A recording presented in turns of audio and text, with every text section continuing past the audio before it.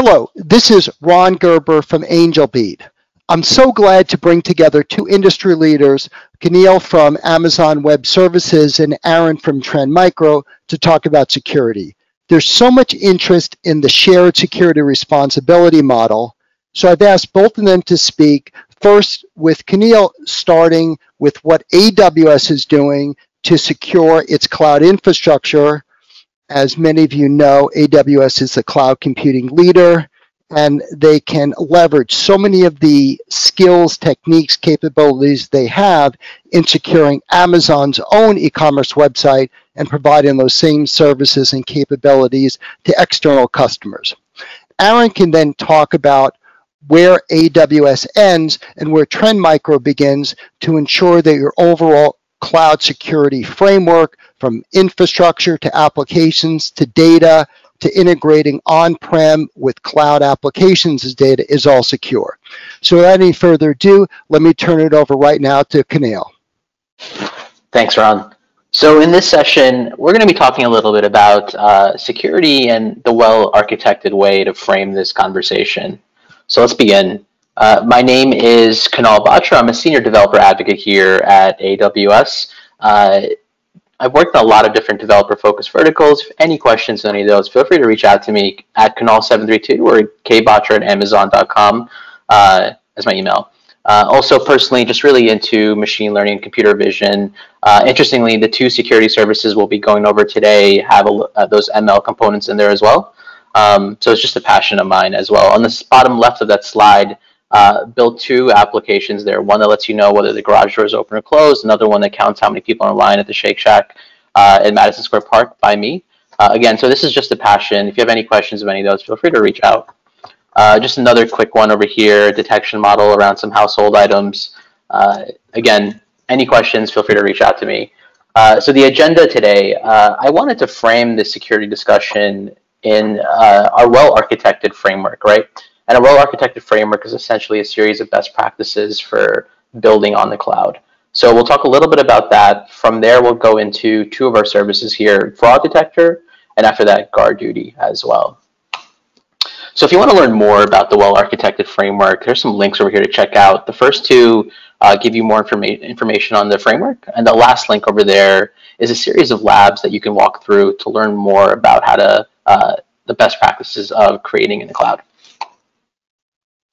So the well-architected framework helps you understand the pros and cons of decisions you make while building systems on AWS. It's broken down into these five components, operational excellence, security, reliability, performance efficiency, and cost optimization. In this session, we're going to be going over uh, the security pillar that we have over here. Uh, and this actually started uh, back in 2012. Uh, so essentially, uh, our external facing teams, the solution architects, professional service consultants, and enterprise support teams, uh, we were having a lot of these conversations with our customers on architecting in the cloud. And we wanted to formalize a lot of those learnings that we had and a lot of those best practices that we were seeing. So we created the well architected framework. Uh, this started in 2012, and actually the first three years, 2012 to 2014, uh, this framework was actually just for internal use. Uh, it wasn't until 2015 that we published this as an external uh, white paper. And then since then, uh, we have this process where uh, every year we collect data about what's worked for customers, what can be improved to provide clarity, and what should be added or removed, and release an updated framework every year. So it provides a way for our customers to consistently measure their architectures against best practices and identify areas for improvement. So it gives our customers the ability to build and deploy faster, lower and mitigate risks, make informed decisions, or learn AWS best practices. Now, we also have a well-architected tool in the console. Uh, essentially, it's a way for you to uh, model your workloads and then see how it measures against uh, the best practices that we've set. Now, when it comes to that security pillar, uh, there are actually seven design principles for security in the cloud. So implementing a strong identity foundation, this is just highlighting the idea of implementing with the principles of least privilege and enforcing the separation of duties. Enable traceability.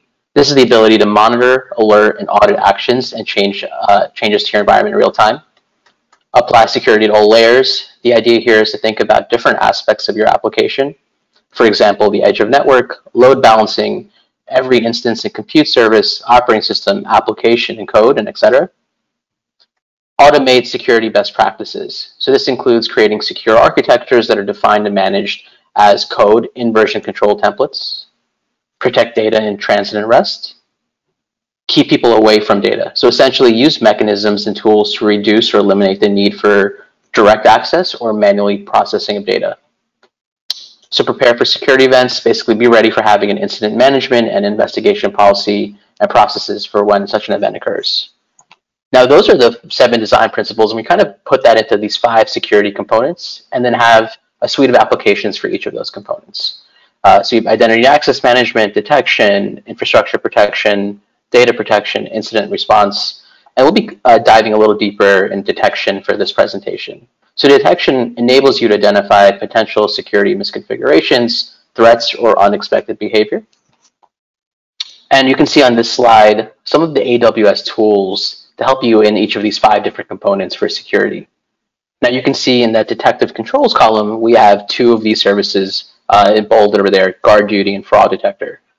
so we'll dive a little deeper first into fraud detector, and then we'll talk about GuardDuty right after this. So Amazon fraud detector, uh, one second. Yeah, so the first service we're talking about is Amazon Fraud Detector. And at Amazon, we've been fighting fraud for over two decades, and we've seen it come in all shapes and sizes.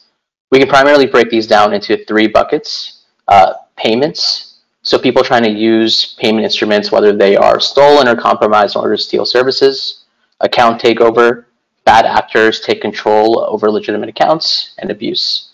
Uh, so essentially here at AWS, we're a post-pay service. This means you can sign up, you can get an account, uh, give us a form of payment and start using service. Uh, and then you typically pay at the end of the month. So this means we can't do an auth or hold on your uh, credit card uh, and essentially uh, bad actors can go ahead and start using AWS services uh, without and without paying for it at the end. So this is something that's important for us to manage losses. And we've also seen a lot of the same problems that we've had in fighting fraud. Our customers have gone through as well, whether they're in banks, in hospitality, or even online. So this ends up being a really difficult problem to detect for our customers. Uh, each year, tens of billions of dollars are lost to fraud, online businesses are especially prone to attacks from these bad actors uh, who are constantly changing tactics. Uh, a lot of our customers are trained to fraud detection tools to reduce the cost of fraud on their businesses. Uh, however, many fraud teams rely on rules which don't keep up with the changing uh, behavior of fraudsters, which ends up leading to more uh, manual reviews. So an example you can see on the slide over here in red, essentially uh, this is an example rule that we've seen some customers do where you can set for new account registrations if the customer phone location is different from the actual IP address location and customer address country, follow down a different path to investigations. Uh, this is great, but this is also something that can be uh, uh, uh gone over with uh, with bad actors. So with machine learning models, uh, now it's taking a look at general patterns, and these small tweaks that a bad actor can make is not something that's going to foil the system. Uh, so fraud detector also takes advantage of machine learning.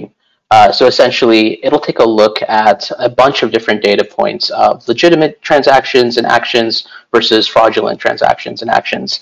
Uh, and then from there, it'll learn from that. So it uses a type of machine learning here called supervised learning, where essentially every data point is labeled as fraud or legitimate. And then from there, it learns about that. Uh, this is really powerful. Uh, however, when we speak to our customers about implementing machine learning for fraud detection, we see that this is actually pretty tough. So some of the reasons that make this difficult, uh, top machine learning data scientists with that ML expertise are hard to find and they don't come cheap.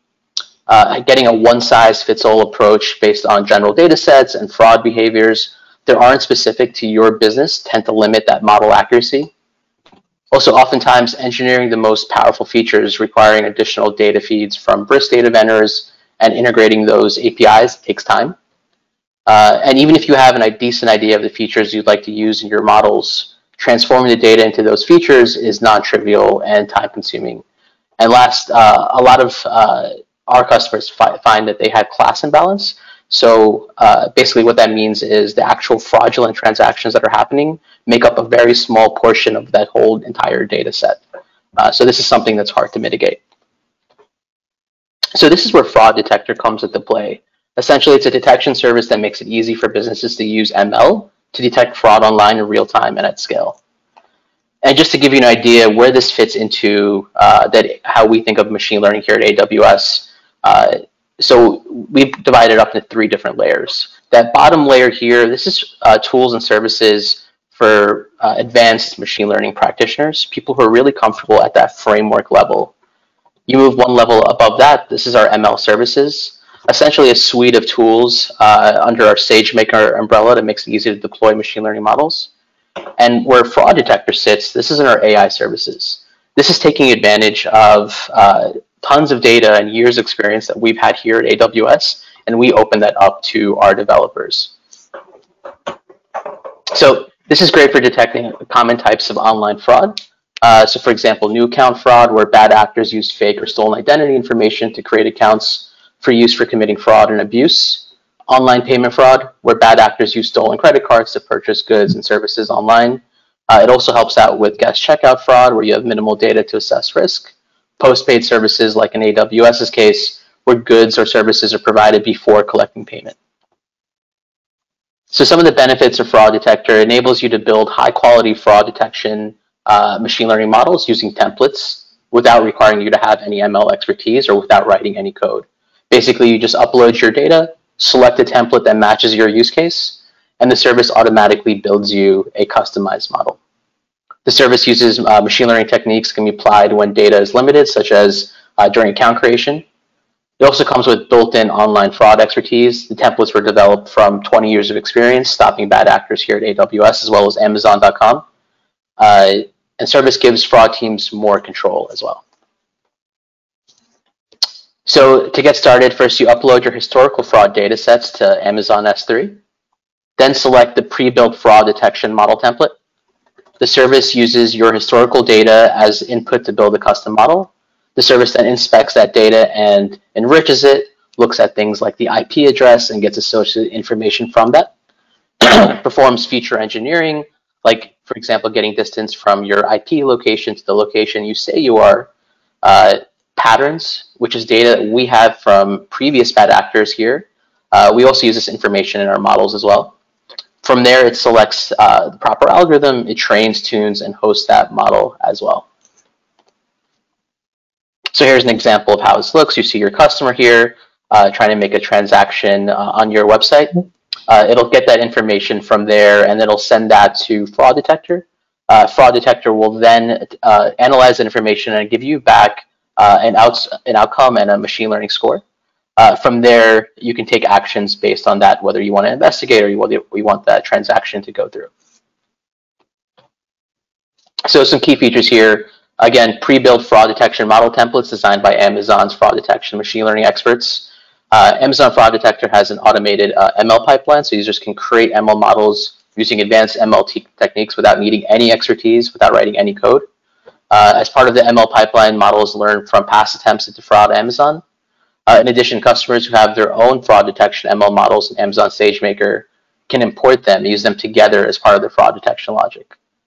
Finally, in the service console, you can review past events and detection logic applied to them to help you. So for example, this is one of the uh, templates that we have here at AWS, Online Fraud Insights, helps you detect risky events based on event attributes, uh, inspired by models and techniques used to protect AWS account registration.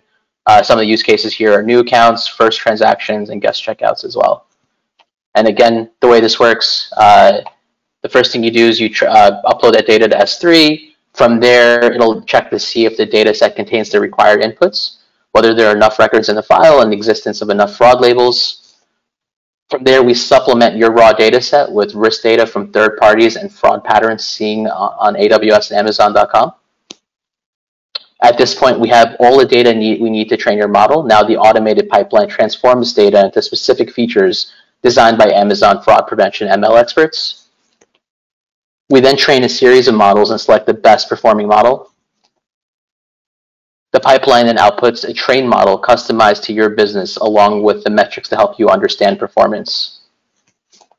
From there, you can go ahead and deploy and host that model as well. So that's fraud detector. Now, the second service I wanted to talk about is uh, GuardDuty, another uh, security service we have here at AWS that uses machine learning. So guard duty is a threat detection service that continuously monitors for malicious activity and unauthorized behavior to protect your AWS accounts, workloads, and data stored in Amazon S3.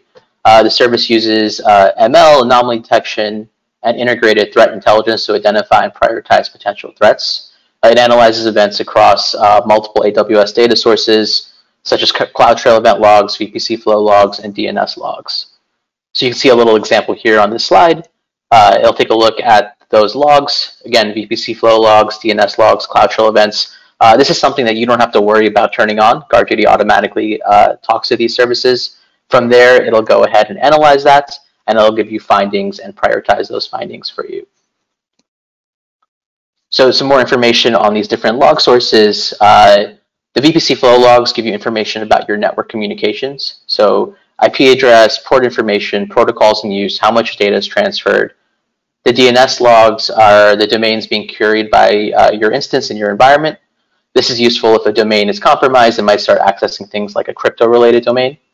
And then with CloudTrail, uh, again, you don't have to turn this on. GuardDuty will still do that. It'll give you a history of all the console logins, API activity in your account, any unusual activity, accessing uh, APIs from locations that are unusual. It'll collect all that information there. Now, one thing to note here is we don't store any of this data all of this data is streamed to GuardDuty, and then we destroy it. We don't keep any of this data as part of the service. Uh, the only exception is that if uh, any of this info creates a finding, we then will store that finding for you. So normally uh, you have to install security tools or agents or have architecture changes. Uh, not with GuardDuty, this is just a one click to activate.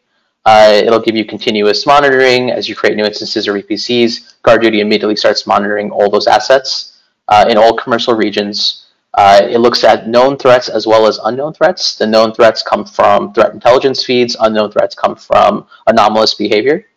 Uh, you can also associate GuardDuty with a master account. So when activated, master account can see threats of all member accounts, but member accounts will only see findings just for their account. So when we look at different types of threats we can uh, we can detect, we break this down into again known and unknown. For known, we use threat intelligence feeds, which are basically IPs and domains that are known as harmful actors.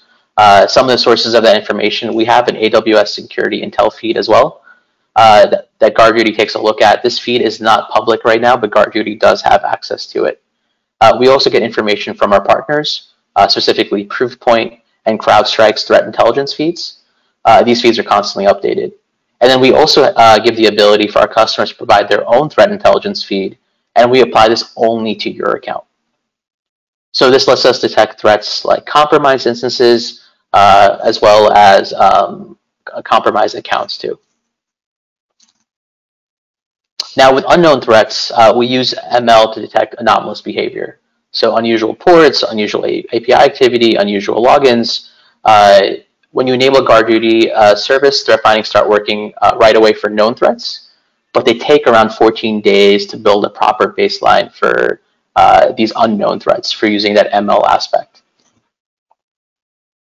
So different types of threat detection classes GuardDuty can find, reconnaissance, instant compromised, uh, when accounts are compromised as well, uh, and different types of classification for those threats. Now we're taking a look at the actual view of GuardDuty right now. Uh, you can see in that center uh, portion of this uh, slide, uh, you can see that you see the finding types, when it was last seen, and then the rightmost column there in that center portion is the counts. The idea for this is it's not screaming uh, or creating a lot of noise for different types of uh, the same alert happening over and over again. We go ahead and aggregate that for you and give you that count information. Now, once you go ahead and click on a specific finding, on the right portion over here, you get more information on the severity of this. Again, you can see the count. You get uh, links to the actual resources there as well. So a lot of our customers consume this information uh, through uh, uh, APIs as well as uh, using JSON. Uh, they also go ahead and uh, consume these alerts through CloudWatch events as well. And the idea for this is you want to be able to automate and mitigate actions based on what you see over here. Uh, so for example, we see, we have customers who take these CloudWatch events, uh, which is essentially an event bus, which will send that info to other services like Lambda to take certain actions. Um, and we can see another example over here as well. So GuardDuty will go ahead and create that findings. It'll go ahead and post that to Cloud events, CloudWatch events. From there, uh, it'll send that information to Lambda to take an action. Uh, and those actions can be talking to partner solutions, it can be an automated response, or it can be anything else that you want to do once you see that uh, GuardDuty finding come in. And so, for example, uh, a particular GuardDuty use case here, let's say you have a, a web application sitting behind a web application firewall. Uh, you're getting ports scanned on HTTP or HTTPS by a malicious IP. Uh, when GuardDuty sees this happening from a known bad actor, it'll create a finding which will then go ahead and trigger a Lambda function, which will add that IP to a block, a block list for your web application firewall, which will prevent that bad actor from getting any more communications. So it's a great way to automate uh, taking actions based on these findings. And that's it. That covers uh, a little bit of our well-architected framework. Uh, from there, GuardDuty as well as uh, fraud detector as well. Again, if you have any questions for any of this, feel free to reach out to kbatra at amazon.com. Thank you. Well, thank you very much. What an impressive suite of solutions. And it's pretty easy to understand why so many organizations have such a high degree of confidence in the solutions and capabilities offered by AWS. But having said that, AWS, despite their tremendous array of resources, can't do everything. So now I want to bring up Aaron, if we could share your screen. The key strategy here is very much defense in depth, shared security responsibility model. And as Aaron pulls up his presentation, the thing I like to emphasize and to try and provide a framework here is that AWS does a fantastic job of securing the infrastructure. You as an end user need to still retain ownership and control over the data itself, though obviously AWS can help. Plus, you need to be aware of issues such as integrating on-prem security. Uh, most organizations still do a fair amount of computing on premise. They're not 100% in the cloud for everything. And it's very important that you've got tools that can work seamlessly across your existing network infrastructure, LAN and WAN, and also provide a seamless tool to help you secure everything without a lot of administrative hassle. And that's where Aaron and Trend Micro falls in. So Aaron, let me turn it over to you to talk about Cloud One. Thanks, Ron. Much appreciated. Hope I'm coming through loud and clear. Again, um, Kunal, Ron, I appreciate you uh, inviting me to be here. It's always a pleasure to, to speak with AWS and talk about our, our solution sets and how they work uh, together uh, to make our customers more efficient, more secure, and, and more aligned to the well-architected framework. Again, my name is Aaron Ansari. I'm a Vice President of Cloud One Conformity for North America here at Trend Micro. I have not, I do not have nearly the, the fun projects that Kunal talked about. Um, some of my projects are more like in my garden or, or, or, a little bit more physical and less ephemeral, but um, uh, some good stuff. I, I, can have my contact information here um, if you'd like to, to reach out to me. Um, and as, as Ron mentioned, what we're going to cover is kind of where the functionality from your infrastructure and your setup at AWS stops and where Trend Micro begins. And I think that's important um, to, to highlight because as evident by what Kunal just showcased, a very, very rich set of, of in service in cloud um, capabilities that you can leverage and that you should be leveraging you know default de facto from day one the, the moment you you get your aws account and you set up your environments. You should be using GuardDuty. You should be using config inspector Macie Macie 2 all the services that are there are, are definitely ones that that should be part of the infrastructure that you're building. And as evident by the well architected framework should should align kind of easily to, to what you're trying to build what we're going to do is talk about kind of the why, like why do issues happen? How do issues happen? And, and the term that, that, that we're going to utilize is, is misconfigurations, right? Because when you're setting up your environments, when you're creating your workloads, when you're, you're, you're adding accounts and, and building things out, there are lots of opportunities to add these services, utilize these services, and configure uh, these services to the way that you're building out your your uh, workloads because of the shared responsibility model. And, and we'll talk a little bit about that as well as the well-architected framework and, and boil it all in um, to, to one you know fully packaged solution set here. Um, so we'll talk about the opportunities and the challenges that, that are tied to both of those, and, and we'll kind of go over you know the two main things as it relates to, to the, the security configurations um, as they tie here and it really just comes down to you know no visibility and, and a lack of resources right? You, you don't actually see what's happening uh, in in the environments that you're building because you're you're building quickly right? You're using an agile methodology you're using a a you know iterative design process you're you're you're, you're developing code at high velocity. And you don't have enough resources to manage that right? Maybe you have 2000 developers at your company and what? Two 10 security people uh, it just doesn't scale, right? The math behind those two numbers just just don't don't add up. And so what happens is your your organization decides, well, we're going to move fast, um, or your organization decides you you'd stay secure, but you're not going to do both, right? The the reality is what you what you can do with the well architected framework is both, right? You can move fast and stay secure, and the way that you do that is by aligning to you know the five pillars as as Kunal Kunal mentioned so well. We're going to talk about specifically security and, and reliability, uh, but as evident with some of the, the features and the services that we discussed, you can certainly align to all. And the conformity platform that we're going to talk about does align to, to all five of, of these pillars. But before we get into any of that, I thought it was just really cool when I was researching this um, to find um, actual containers being used for cloud infrastructure um, at a certain organization. And, you know, I thought that was novel and that other people would enjoy sharing, you know, containers being used to put, you know, what, you know, K8s or, or, or virtual containers in, inside actual containers in some sort of infrastructure and environment. So um, let's talk about you know what you've got right? What you have out of the box out of the container out of, out of the out of the the account that you've created now within aws right? You've got the the capacity to do things quickly. You've got the capacity to do things efficiently. You've got the capacity to scale and you've got the capacity to get reporting based on that, right? And you have different methodologies in which you can do this, right? You can do it in a hybrid environment, you can do it in a totally public or private environment, um, or you can do it in, in some other different ways.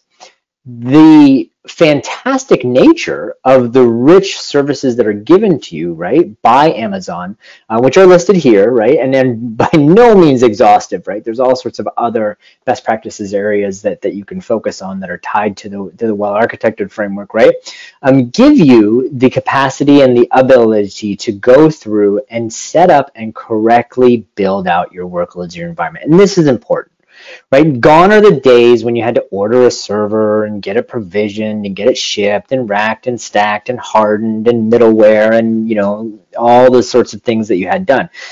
Beautifully, uh, now with AWS comes the ability to do all that with clicks and with seconds and, you know, with, with very low um, uh, payload or, or, very low uh, barrier to entry um, to go through and do that. And that's fantastic, right? But it leaves the onus or the burden on you to set it up correctly. And that's where the beauty of the well-architected framework and the shared responsibility model comes in, right? Because AWS has done,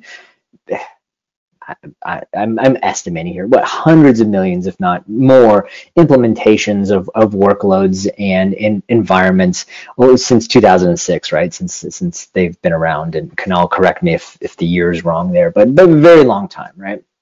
Let's say decades. And so they've seen every iteration of every possible configuration that they that they that you could do, even when they release new services as, as part of that, right? And we'll talk about the new services and some of those other components here as well. Um, the beauty, as Kunal showcased, is that they've given you a, a, a guidebook, right? A Bible, right? A, a, a map to say, hey, when you're building out your environment, when you're creating workloads, when you're building your applications, you need to do this. You need to follow these things. And not only have they given you the the you know the written text of it, they've given you components, services, applications, right? Tools that are there to scan and tell you, hey, you're not doing something right. You need to configure this differently. You need to change this, right? You need to adjust these sorts of things from a misconfiguration standpoint. And that's fantastic. And, and you know, I had a use case where I actually named a, a healthcare customer. Um, I, I, removed all that just because I, I didn't want Angel Beats to get in any trouble for, for you know a public reference. So so you think about currently telehealth, right? Um, with the the it wouldn't be a webinar if we didn't mention the pandemic. Uh, now, congratulations, you are officially attending a webinar in 2020. Um, with telehealth, um, reliability is, is crucial, right? You've got patient data, you've got the need for, for life and customer care that's kind of taking taken over. And so going through and being able to align to the best practices that are tied to the reliability pillar are very, very helpful and, and very, very impactful right? And so when you look at what customers are trying to do, and excuse me, I, I just I like to build out slides completely so that you have the full picture.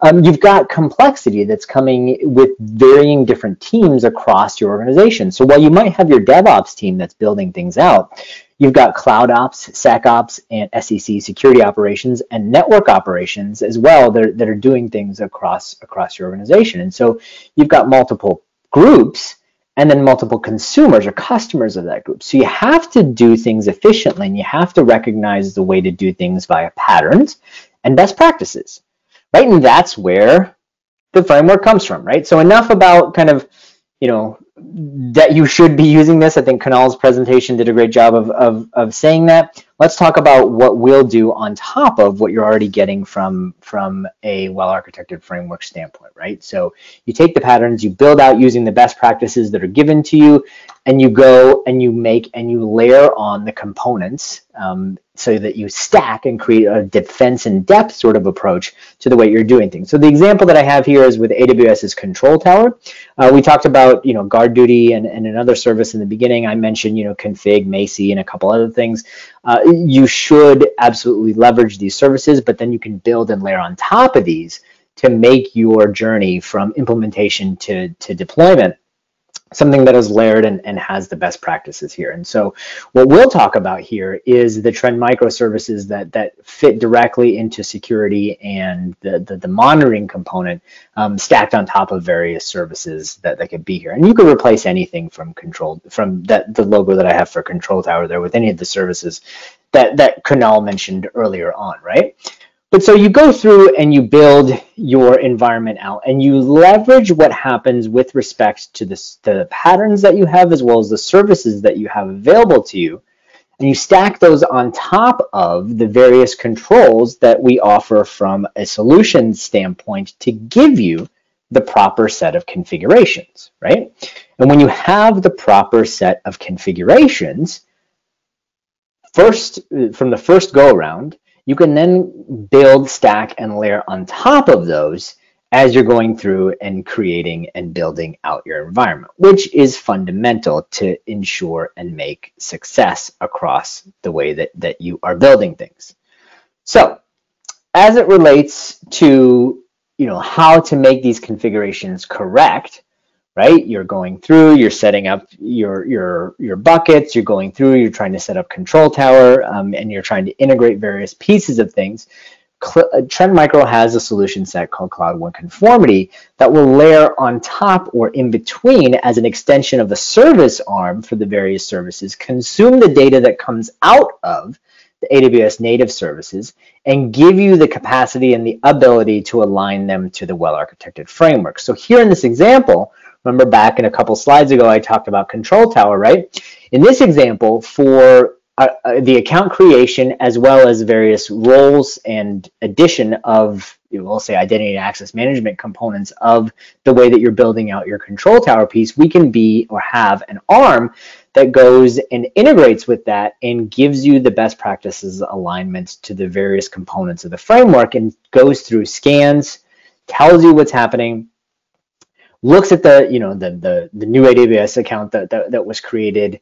Um, take the lifecycle events that, that's generated off of Control Tower, trigger our our Lambda functions or the Lambda functions, excuse me, to be able to to um, you know, instantiate, right, to, to run, and then go through and have our services, you know, take care of any component um, that needs to be tied or, or done from a remediation standpoint on top of that. And it goes even further to, to then integrate with the way in which you develop or the way in which you utilize um, your, I'll say pipeline or, or, code as, as you are as you are developing things um, within your organization. So if you're chat ops, if you use you know various taking software platforms, we'll go through and be able to take that, create the automated workflow, and augment and and make things centralized um, for the way in which your team develops. Now take that idea and, and you know kind of put it on the shelf um, because I really want to talk about I, I want to talk about the shared responsibility model, but I really want to talk about this sort of generational um, DevOps process that, that I'm talking about right here, right? So you can see on the left and the right, I've got, you know, distributed teams with different ways in which they do their operations. On the left, I've got, you know, all sorts of, you know, cloud instances and, and events that are happening. And in the middle, I've got kind of, you know, us tying it all together. Uh, I want to talk about, and I'll do this later, but I want to talk about how it's, you know, DevOps is done generationally and DevOps is done in such a way that it can incorporate all this and not utilize, you know, certain different versions of DevOps and different versions of the, of the term DevOps. So uh, keep this sort of page bookmarked and, and we'll go back to it in just a minute because I'm going to pivot just the slightest bit um, to talk a little bit a little bit about this this line that's here between the two colors, right? Um, there's a customer responsibility and, and then, a, then a cloud hosting responsibility, right? And there's a line there, right? So there's above the line, there's below the line, right? Below the line is what AWS is responsible for. Above the line is what you're responsible for, right? So you've got to do everything you know that that you care about. They've got to do sort of the infrastructure, the compute, the storage, all, all that sort of thing. If you don't do it right, um, you get misconfigurations. And the, the the fallacy here is, you know, if you assume that, well, you know, AWS has done this tens of millions, hundreds of millions of times, they've got me covered, right? Um, no, that's, that's they do have you covered, right? But they themselves covered. You're the one that has to take care of, of how you're doing things. So go back to that well-architected framework, right? We need to align to the best practices that are given to us and are published and updated at least annually, according to what Kunal said earlier, um, time and time again. Now, the way that you can do that is with AWS's native tool, and then you can also utilize our service, which layers on top of that aligns to the pillars as you see here, right? Cost optimization, operational excellence, reliability, security, and performance efficiency, right? Gives you score, gives you a dashboard, gives you actionable metrics that will allow you to go through and improve your compliance that align, and this compliance score ties directly to the to the WAR, the well-architected review, not just the framework, well-architected framework, but the well-architected review, right? Our solution goes through and does a review for you and aligns and, and gives you some automated functionality to do best practices, best practice alignment with the scores that you're getting out of the well-architected framework or the well-architected review, right? So we'll go through and tell you, hey, you know, a couple seconds ago, a couple minutes ago, um, something happened that that is out of alignment with with the best practices of the well-architected framework. Um, we've done a review. This review happens every four tenths of a second. From a real-time perspective, let's go through and fix this, right? And if you go back to you know what I bookmarked a while ago, right, we'll integrate in the ways and the methodologies in which you develop such that your developers will be able to get a ticket or a Slack message or some sort of notification that says, hey, something's wrong here, fix it. We do not encourage doing this via, you know, some sort of overhanded security sort of methodology where we're coming over the top and saying, thou must, thou shalt, you got to do this, you know, I'm security guy or security girl coming over you. We simply log these as bugs. And what do developers do? They squash bugs, right? So when you develop and you create and you and you build these well-architected misconfigurations via bugs, you're developing and you're maintaining code the same way that the developers think about it, right? It's just DevOps. It's not dev something ops. It's not dev something something something else ops. It's not triceratops. It's just DevOps, right? And so we take the way in which your developers develop and we integrate and we weave into that. And that's the magic and the beauty of, of what you can get with an all-in-one solution that layers on top of the ingestion of the data that you get out of config, control tower, you know, Macie, guard duty, all, all those all those features it's no secret that that this the the number of services are going up and up and up. right? And you know, reInvent's coming up in a, in a couple weeks, so obviously we're going to get more and more services that are that are tied to that. Um, so it's just going to be you know increased. But the the beauty is um, we're still making the same mistakes, right? We still we still don't understand PKI. We still don't understand IAM. We still, you know, screw up our the, the way that we do our, our storage access and, and those sorts of things. And and we've we've got all sorts of issues that, that are tied to it um, and from it. Um, but the beauty of it is when you utilize the well-architected framework, when you utilize a well-architected review, and you use a solution that layers on top and builds it builds it all together, no matter where you are in your cloud journey, uh, the, the solution presents itself well and the solution presents itself consistently and the solution integrates into the way in which you're developed. So whether you're cloud curious or a total disruptor, odds are most organizations that we see are somewhere have have business units on either edge of the edge of this. Some are just some business units are very very uh, much on the left hand side. Some business units are very much on the right hand side. It's not often that one entire company can just paint itself as you know cloud first or cloud native unless it's a smaller organization. So let's talk about that that build process that I asked you to to kind of bookmark earlier earlier before, right? And I've, I've kind of hinted at this over the course of this presentation, right? So no matter where or how you develop, um, you're going to have some issues uh, related to the build process that, that you're doing things, right? You might have some mis misconfigured misconfigured misconfigured CloudFormation templates, or someone downloaded some CloudFormation templates and it's really old data. You might have, you know, some some issues that are that are tied to your your repository. You might have storage issues. You might have PKI issues, right? All of that adds up to to a headache, to a lot of work, to expense, right? And when you're not doing things, you know, from from an earlier development standpoint, um, you're causing a lot of headache and, and causing a lot of issues, right?